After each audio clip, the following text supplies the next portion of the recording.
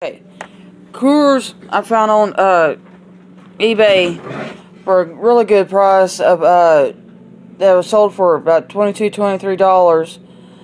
And also when I put, posted it it was about oh let's see starting off at about 28 dollars.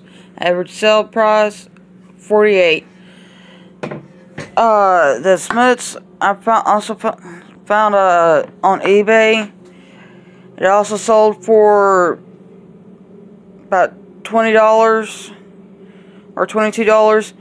It's also about average sale price is about 38 starting off at about 20 this one is starting off at about 20 average sale about 30 black gold label.